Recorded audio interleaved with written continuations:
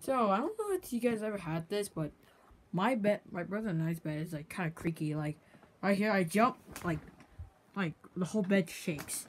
I need to go. Yeah, and then this. Um, I don't. It's not really that creaky. Oh, okay. So this doesn't even have a bolt. this also has, and this has a bolt.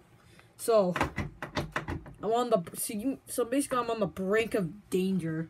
Well, not really actually. It's just that like it's just that like but it's just creaky. Not stable. So but anyways, um yeah, that's all I just want to tell you.